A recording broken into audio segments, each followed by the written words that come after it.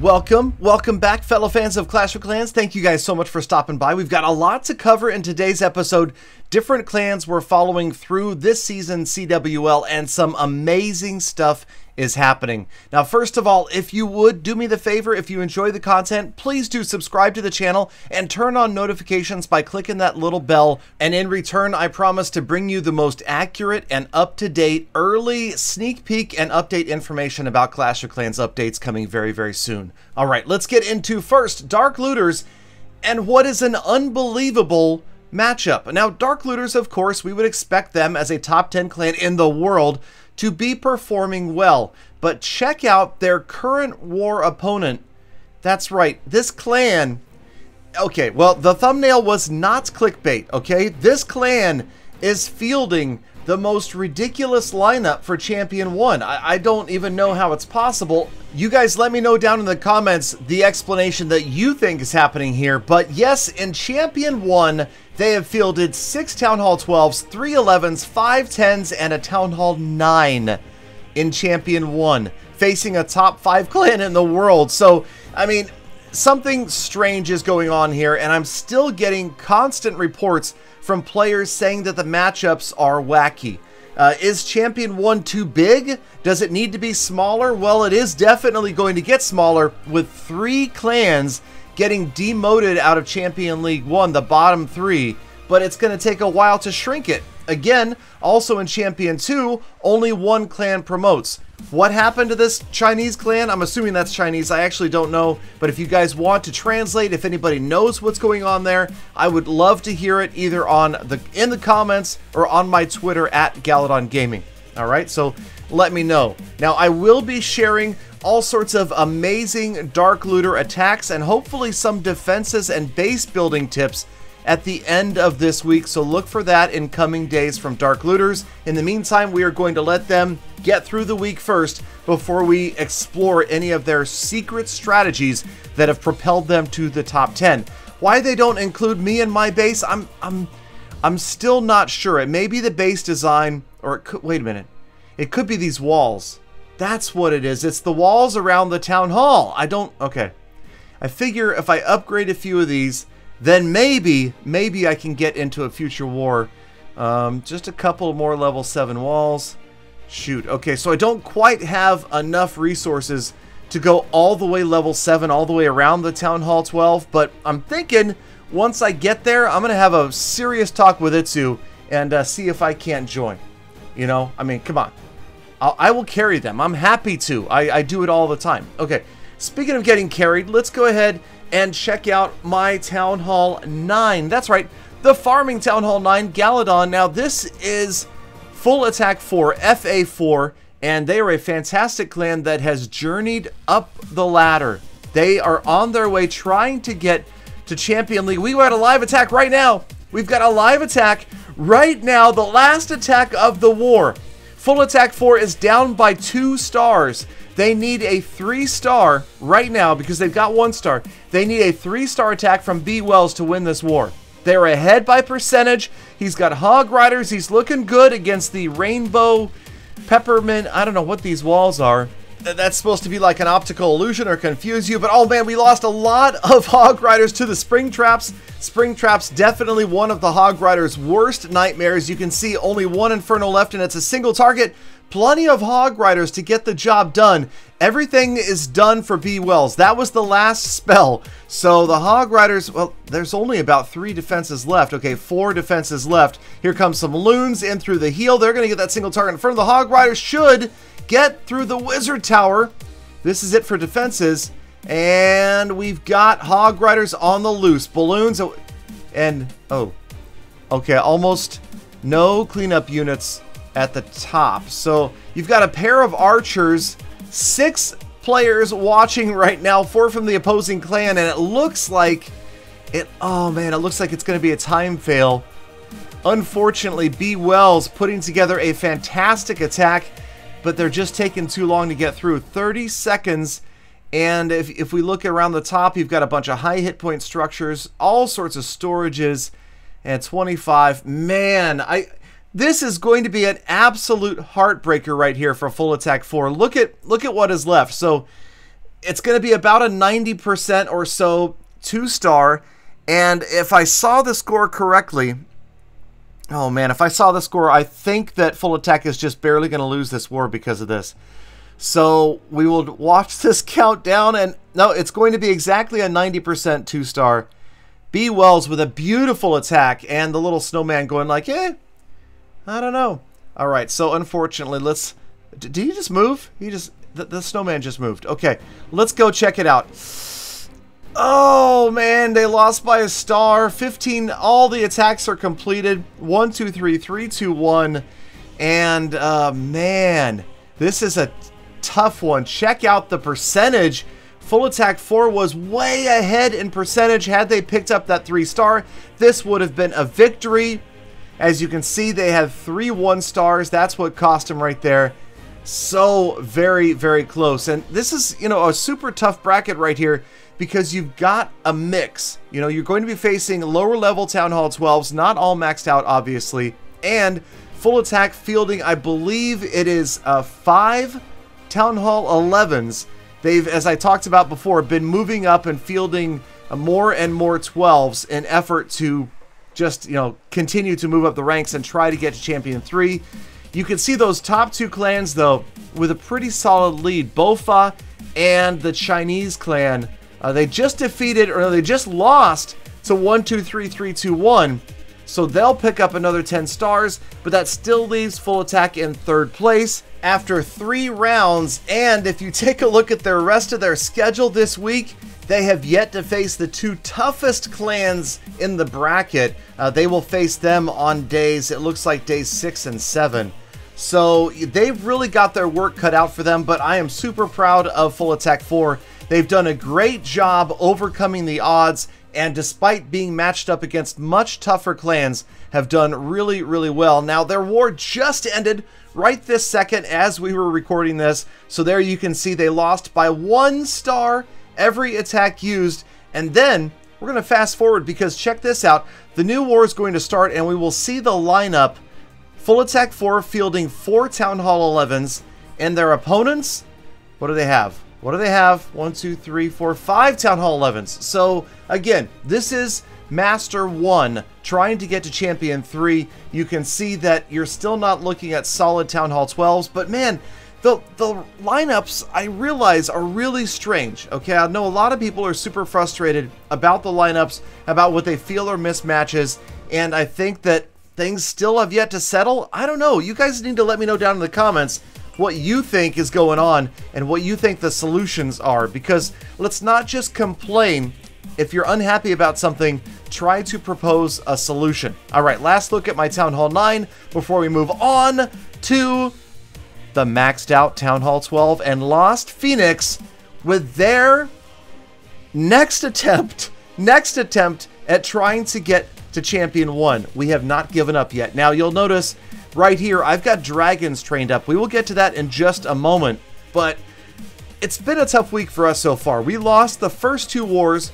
We picked up war number three just barely, and so far in war number four, we've got five attacks on the board with five two stars, but your man Galadon has a strategy for a three star attack in this war. We will get to that in just a moment. You can see War and Glory pretty much, unless something major happens here, looks like they've got this sewn up uh, halfway through the week. They are so far ahead of everybody else. We lost to them pretty handily in day one by five stars. And well, hey, Lost Phoenix has been nothing if not consistent 28 stars each of the first three days. So, yes, of course, that does mean some major one star fails, but unfortunately, it's just almost unavoidable unless you are a clan that is constantly practicing clan wars. Now, against this Bulgaria clan, our member Jay, great job right here with a somewhat unusual Electro Dragon attack. So check out, luckily for Jay right here, the uh, Town Hall wasn't trapped with a whole bunch of Teslas. You can see right here, Elon Musk not present, just one. The Archer Queen gets that Town Hall down and triggers the Tornado Trap, which is kind of a nice bonus the Electro Dragons don't have to face later on. And then I love this use right here of the one loon and the Electro Dragon at the top, kind of funneling, clearing out an entire quadrant, and then the Barb King at the bottom. So what you can see is a clear funnel created on the left-hand side of this base where the Electro Dragons are all going to focus along with the Stone Slammer, some loons, and that is going to give maximum value to your rage spells and your freeze spells. And then notice this is kind of a backdoor entry. Take a look at the sweepers. They are both pointed away from the entrance that Jay makes into the base with the Electro Dragons and the balloons. They're going to come in. Great value of the rage spells right here. Not quite overlapping. Good freeze spells as well on the Clan Castle troops and the Eagle Artillery. There is your Warden's ability. Good move. Looks solid. And this is why you see the three star right here because of funneling and because of what? I've only said it like 7,453 times before. Spell, timing, and placement. Absolutely, Jay just killing it right here. Every spell, pretty much optimal placement and timing. Great value and a bit of an overkill win because Jay's going to have lots of dragons left. Look at the bomb. The Seeking Air Mine takes out the Grand Warden in one shot, but nonetheless, the dragons will persevere through all of the bombs and mines They've got more than enough hit points left, and you can see four dragons left, just two structures, and Jay basically wins this war right here for Lost Phoenix. And man, I'm telling you, we needed it. The beginning of this week was disheartening for Lost Phoenix. Okay, so now that we've got this wrapped up, let me go into a little bit about what I've got planned in this current war, war number four.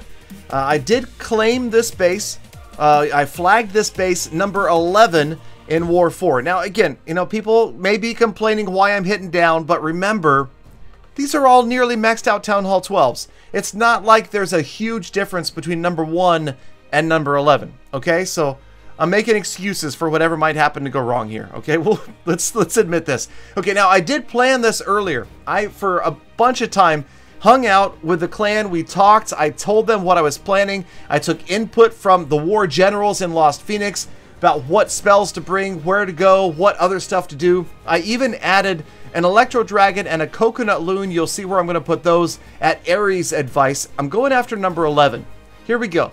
So I'm thinking Bat Dragon would work out because of the vulnerability of the left the like the nine o'clock portion of this base. Okay, so the single target inferno right there. Now the idea, this expo, I'm gonna drop an electro dragon up here, and it's going to pick up those two archer towers and the expo. So they will start firing on the electro dragon. I'll drop a coconut loon first. That's a single balloon that will try to pick up a seeking air mine if there's one in the area.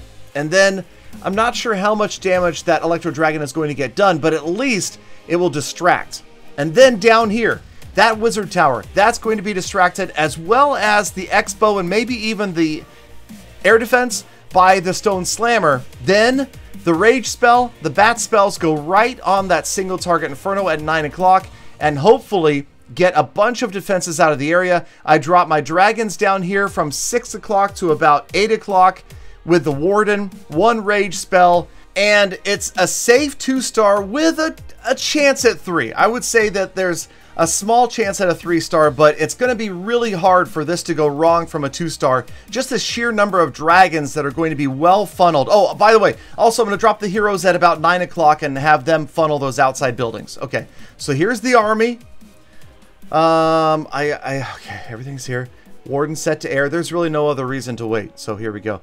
All right, so we start out with the Coconut Loon and the E-Dragon up around 10 o'clock. All right. And then we go Stone Slammer down by the Wizard Tower. And then we go Rage Spell. And then all the Bat Spells going to drop right on this. And then they just got to hope that it works. Okay, then look for it, wait for it. Okay. And then, okay, now the Warden is going to wait. The King and the Queen should be fine. They're not going to... Okay. Oh, Bats are doing a great job. Come on, Bats. Keep going. Keep going. Keep going. Okay, now the uh, Stone Slammer went down. You see I had two dragons in the Stone Slammer. They're going to help with the funneling. Oh, those bats are going further than I thought. Okay, that's... Okay, I think that's okay. You got... Oh, that's a third of the base. That's a third of the base. Come on, bats. Oh, bats, get the single target Inferno. Oh, come on.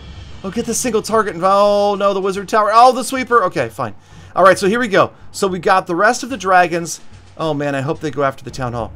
Oh, please go after the Town Hall. Okay, King getting ready for his ability here. Okay, and then now, uh, what, what's next? What's next? Oh, the Rage spell. Okay, we're to hold on. We're to wait for the dragons. Okay, the heroes are okay. Getting ready with the rage spell on the dragons. And how about... Oh, oh the, the, the, the free spell. Okay, and then... And then... Oh, the queen's taking some damage. No, the warden. I need the warden's ability. And then the queen's ability. And now I'm done. Okay, now I'm just to close my eyes, okay? No, wait. Okay, it looks like... Oh, there's the tornado trap. I, I think the town hall, we're good. We got like half the dragon's turn left. Oh, come on. Just take the town. Would you stop? There, okay. So there's... Oh, well, that's good damage. Archer Queen's still up. Oh, CC Dragon hurt my Archer Queen. Come on. Oh, Archer Queen survived. Lots of dragons left. And oh, that single target Inferno scares me. Oh my gosh, that single target Inferno scares the life out of me. Look at that thing, all isolated right there. Archer Queen, can she get the AD down? She's got to get that air defense. Come on, get the air defense down. Come on, last shot. Oh, she got it. She got it. No, dragons. Oh, man. Oh, no, no, no, no. There's three more. They should be out of range. No, no, don't do. Uh, they were out. Oh, come on. No. Oh, all right.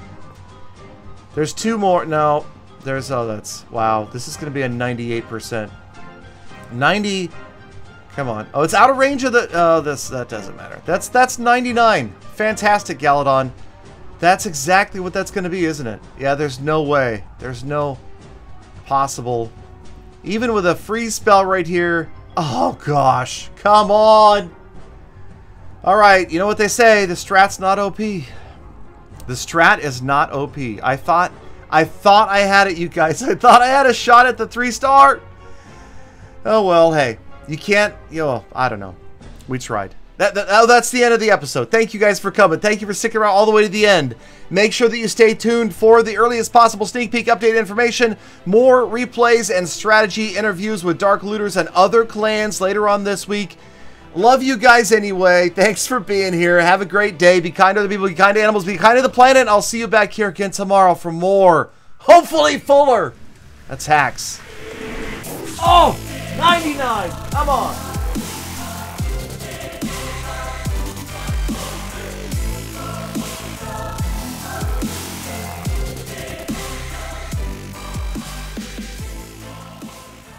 Galadon! Good effort, man! Not quite good enough, but good effort.